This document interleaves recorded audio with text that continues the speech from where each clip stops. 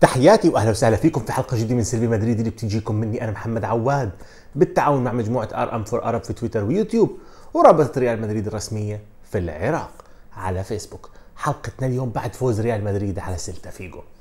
المباراة اللي جاءت في ظروف خاصة جدا. ملعب سانتياغو برنابيو الجديد اللي ما في مجال تفتتحه بنتيجة سلبية بعد كل الاحتفالات اللي صارت. لازم اليوم تفوز. عشان تحافظ على هذا الزخم المعنوي الكبير.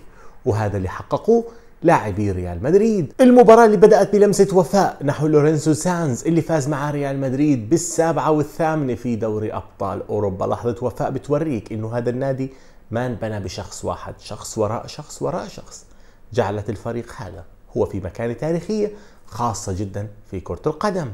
المباراة زاد من أهميتها قتالية أتلتيكو مدريد اليوم العصر. الفريق اللي قاتل حتى الدقيقة 98 عشان يفوز واللي دخل أربع أسماء كدكة كبار جدا نجوم دوليين في بلادهم. وكانت رسالة تحذير لأنشيلوتي دير بالك يتكرر اللي صار مع زيدان الموسم الماضي ما تخليهم ياخذوا مسافة عليك لأنه عندهم تشكيل عميق للغاية. فبالتالي كان لابد من الانتصار أيضا اليوم. كما هو متوقع بعد الجولة الدولية حتى لو عندك مباراة دوري أبطال أوروبا لابد إنك تحط أفضل تشكيلة عندك.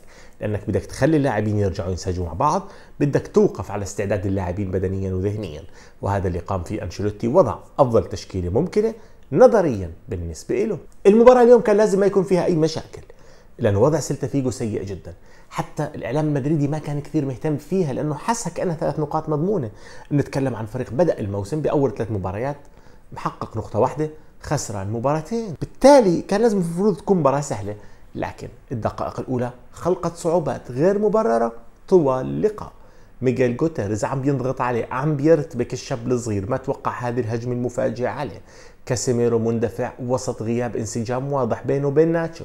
بصير ارتباك بين الجميع وبسجل سيلتا فيجو هدف بخلي الشوط الأول جدا صعب ومعقد. وظهر بعد ذلك إنه سيلتا فيجو مقرر يضل يضغط على ميغيل وكأنه فلسفة هذا المدرب إنه هذا لاعب صغير. إحنا لاعبتنا قويين بالضغط العالي خلينا نركز عليه بلكي أخطأ. وفعليا ميغيل خلينا نحكي خاف نتيجة هذا الضغط طوال الشوط الأول. لربما أبرز شيء كان في التشكيل الأساسي اليوم ريال مدريد جونيور وهازارد مع بعض بس بشكل مختلف شوي عن اللي حاول يطبق فيه زيدان التشكيل هذا. الريال كان عم بحط هازارد على اليمين جونيور على اليسار. لما نيجي نشوف كيف أدوارهم كانت جونيور كان له المساحة كجناح أيسر واضح جدا. هازارد كان لاعب محرر وعنده حرية أكبر بكثير. من حرية جونيور اللي زي ما حكيت كان مسؤول عن جهة واحدة. هازارد أثناء الصعود بالكرة كان يروح على العمق يعطي زيادة عدديه هناك يحاول يربط ما بين خط الوسط وخط الهجوم. بعد ذلك هازارد كان معطيه أنشيلوتي زي تعليمات بسيطة. انتبه شوف الكرة وين. طبعا لما هازارد كان يطلع للعمق كارفاخال يصعد لمسافات أكبر من اللي كان يعملها ميغيل على اليسار. أيضا هازارد كان يشوف وين الكرة؟ لما تروح على اليمين. لو شاف إنه كارفاخال مع فالفيردي مع بنزيما ربطوا ثلاثية مع بعض ما بروح. بدخل بالعمق بدل بنزيما. لكن لو ما شاف بنزيما راح بروح بكمل هذا المثلث. نفس الشيء كان عنده حرية يروح على اليسار. لو شعر إنه الفريق مش قادر مودريتش مع ميغيل جونيور يربطوا بروح بيكون خيار آخر اضافي حرية. هازارد كانت كبيرة واللاعب اتحرك تكتيكيا بشكل مفهوم وكأنه فهم هذه التعليمات. أهم شيء في لقاء هازارد رغم إنه ما ساهم بشيء بالنتيجة بشكل مباشر إنه اليوم شعرت إنه عنده الرغبة عنده المبادرة عنده فيش خوف. أنا بدي أروح أنضرب زي الضربة اللي تلقاها أنا بدي ألعب هازارد. حاول. ربما مباراة بتخليك تقول في شوية أمل. نشوف على الأقل 70% من هازارد اللي شفناه مع تشيلسي. أنا شخصيا شوي يعني خلينا نقول متشائم إني أشوف هازارد تشيلسي. لكن مباراة اليوم خليني أقول ربما نشوف شيء منه. ردة فعل ريال مدريد بعد هدف سيلتا فيجو الأول يعني مهمة جدا. الفريق خلال عشر دقائق تقريبا أربع خمس فرص خلق محققة بيقدر يسجل فيهم. ضغط هذا الفريق بشكل كبير جدا. ضغط عالي من الثلاثي الهجومي يعني بدعم فالفيردي ومودريتش رهيب خنقهم لسيلتا فيجو. كان يجبرهم إما يخسروا الكرة وبالتالي تظل الكرة تحت عند منطقة جزاء أو يخليهم يصعدوا الكرة بأي شكل فالريال بيسترد الاستحواذ وبيرجعها مرة ثانية. ضغط رهيب جدا كان مستحيل. سيلتا فيجو يتحمله فكان طبيعي طبعا يجي هدف التعادل. أيضا الشيء اللافت بالشوط الأول لعند هدف سيلتا فيجو. سرعة تدوير الكرة تمرير الكرة السريع حركية لاعبين ريال مدريد. بالنسبة لمباراة رابعة بالدوري هذا شيء ممتاز اللي شفته اليوم. شيء بخليك تقول أنشيلوتي ربما اشتغل بشكل مثالي على الفريق في الصيف. لكن كان في مشكلة واضحة. الفريق لما كان يرجع الدفاع كان ياخذ شكل 4 4 2 بس كان عنده بطء باخذ هذا الشكل وعدم انسجام بين الوسط والدفاع مع هذا الشكل. فكان دائما تظهر مساحة إما على الطرف الأيمن أو على الطرف الأيسر لريال مدريد. وجاءت لقطة تكلمت عنها في الماضي. ناتشو عم بيندفع مرة ثانية وباندفاعه هذا بصير في مساحة كبرى خلفه وبيفشل كالعادة بين قوسين حتى أكون لأنه بعض الأحيان بينجح. وتكلمت في الماضي قلت في مشكلة. راموس كان لما يندفع هذا الاندفاع ويغطي المساحة اللي ممكن تتواجد هناك كانت نسبة نجاحه 8 من 10 ولا 9 من 10 نسبة نجاح ناتشو 2 بالعشرة أو 3 بالعشرة.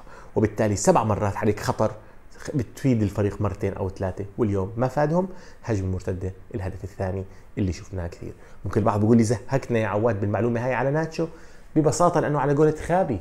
الموضوع بسيط هو مش راضي يتعلم. الهدف قتل ريال مدريد معنويا في الشوط الأول. يعني الهدف الثاني قتلهم فعلا. خرجوا من اللقاء لآخر دقيقة. كان بامكان سيلتا فيجو يفوز 3 1 كان أفضل كان أخطر. كل شيء جميل كان عم بقدمه ريال مدريد اختفى. وشيء طبيعي. لما ألعب أنا أحسن ما عندي كمهاجمين ونحاول نحط الكرة كوسط ونضغط نضغط نضغط. فجأة تصير هذا الخطأ. طبعا حنحبط. فالريال خرج من الشوط الأول مهزوم معنويا صراحة. بس أنا بلوم أنشيلوتي شوي لأنه في الشوط الأول كانت واضحة المشكلة الدفاعية. وأنشيلوتي لعب هون لعبة المراهنة. يا أنا يا هم حنجيب الجول الأول. أنا حضلني مكمل هم حيضلوا مكملين ونشوف مين بيجيب جول الأول. فراحوا هم اللي جابوا الجول. والفريق خرج معنويا. أنشيلوتي ربما كان بإمكانه يقول لميغيل اهدى شوي ما تقدم ابدا لعنا يخلص هالشوط.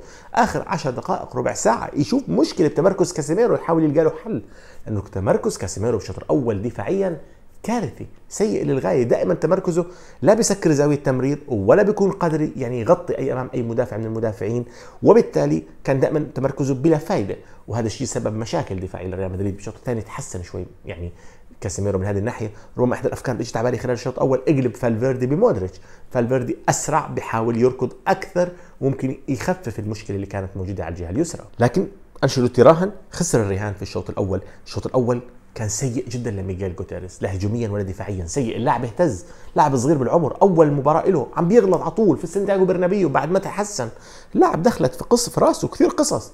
أنا بكرة الإعلام يعني حيدمروني وعندي اثنين بنفسوني مش واحد مارسيلو مندي فبالتالي أنا حكون بوضع سيء جدا كلاعب كرة قدم. اتوتر اللاعب. والشوط الأول كان ممكن يعيشه فترة صعبة جدا جدا جدا. لكن كان دائما لازم نحكي. اللاعب قدم قبل ذلك. أداء جيد أداء واعد بيشفع له اليوم نتحمله في الشوط الأول. أنا شو قلت قبل شوي؟ قلت ريال مدريد انهزم معنويا آخر ربع ساعة لكن في لحظة قلبت كل المباراة. أول لحظة في الشوط الثاني تدخل الشوط الثاني خسران 2-1 والكرة تيجي من ميغيل اللي كان مهتز ومتوتر. عرضية رائعة بنزيما بيسجل التعادل ضربة معنوية رهيبة جدا لسيلتا فيجو اللي دخلنا الشوط الثاني وعندنا خطط كيف بدنا نحافظ على الفوز. إيه راح الفوز وين رحنا؟ توتروا سيلتا فيجو ضربة معنوية كبيرة لهم بنفس الوقت. ميغيل استعاد الثقة بنفسه وبنفس الوقت لعيبة ريال مدريد أصبحوا بيلعبوا على شوط مقابل هدف. صراحة هذا الهدف قلب الدنيا والهدف خلانا نشوف كيف كانت لازم تكون المباراة تصير في الشوط الثاني لو بدأ التعادل. الريال عم بفوز بفارق مريح وسهل. اليوم وصل فينسس جونيور تطوره التكتيكي. انسوا لي مسألة الأهداف مبدئيا شوي. تطوره التكتيكي هو لاعب كمهارة فيش نقاش فيه. كسرعة ما شاء الله عنه. يعني بيجيب أوسن بولت بعض الأحيان. بس هذا اللاعب كان عنده مشكلة في السنة الماضية واللي قبلها. وبتعرف إن أنا بحب جونيور دائما بدافع عنه كنت بس دائما لما ينطلق ما بتحس إنه عارف شو بده يعمل. أو ليش عم بنطلق بهذا الشكل؟ لا الآن عم بنطلق وعارف شو بده يعمل. عارف أنا بدي أنطلق هون وأعطي بنزيما هون بدي أنطلق هون وأحاول آخذ فاول هون مثلا لاني لوحدي أو بدي أنطلق هون وألعب كرة عرضية مثلا بهذا الشكل عشان أخلق بلبلة دفاعية. وحتى لما استلم الكرة تاعت بنزيما وذهب للمرمى. كان واضح من أول ما استلمها عارف شو بده يعمل وعارف كيف بده يفنش أمام المرمى. يعني جونيور تطور رهيب ذهنيا. ما بعرف إذا هو بس أنشيلوتي ولا هو بس جونيور أيضا اللي طور نفسه بنفسه. بس أكيد اللي صار مع جونيور مش مجرد لاعب نام وصحي لقي حاله أفضل من النسخة الماضية. طبعا جونيور كان عارف شو بده يعمل بعد ما استلم الكرة وعارف إنه بيسجل هدف بس كان ناسي شو بده يعمل بعد ما يسجل هدف فراح يحتفل مع الجماهير وهذه مخالفة في ظل كورونا وما بعرف حتى إذا في زي دول ثانية يعني في بعض الأحيان تتوقع عقوبات على اللاعبين الهاي زي حرمان مباراة أو مباراتين. أتمنى ما يكون في ذلك بالدوري الإسباني لأنه أنا بحب جونيور وبحب إني أشوف جونيور عم بينجح. اللاعب اللي حطت عليه كل أنواع الضغوط اللاعب وصلت فيه الأمور لما يجيب جول يصير يبكي من كثر الضغوط اللي انعملت عليه. كان عم بيحاول كان صغير كثير والناس مش عم ترحمه وعم بتعامله كأنه بيليه مش عم بتعامله كأنه شاب أو موهبة مستقبلية. اليوم جونيور حقق انتصار معنوي كبير. بنزيما الرائع ال super star اليوم تاع اللقاء الحاسم في هذا اللقاء. اللي قال عنه يوما ما لا تمرر له إنه يلعب ضدنا. هو اللي مرر له.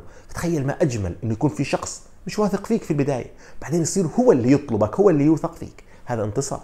لجونيور وانتصار لبنزيما اللي قدر يحل المشكلة وانتصار ريال مدريد إنه أصبح عنده ثنائية رهيبة جدا. طبعا قبل ما أختم لازم أحكي لأني انتقدت أنشيلوتي على بتاع الشوط الأول لكن الشوط الثاني تعلم. لما شاف إنه بعد الهدف الثالث سيلتا فيجو حاول يندفع بكثافة أكبر بسرعة أكبر عرف إنه لازم يغير ما بصير يضل هازارد في الملعب.